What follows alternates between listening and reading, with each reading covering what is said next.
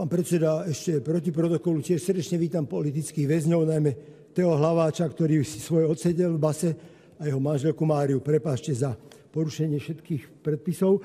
A teraz vážne. Pán predseda, prosím, aby ste chceli hlasovať o tom, že Národná rada v súlade s paragrafom 73 odsek 3 písmeno C zákona o rokovacom poriadku predlžený návrh zákona prerokuje v druhom čítaní. Prezentujme sa a hlasujme o tom, že postupíme tento návrh zákona do druhého čítania.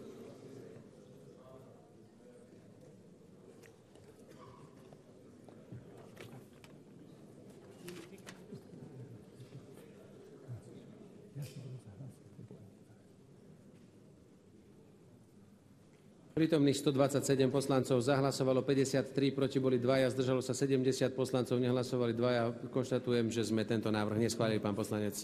Ja som si zabudol kartu.